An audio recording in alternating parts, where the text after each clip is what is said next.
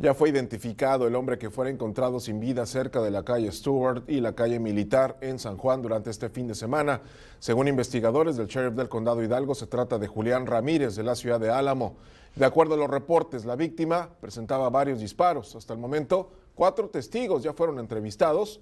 No se han dado a conocer arrestos ni cargos relacionados a este crimen.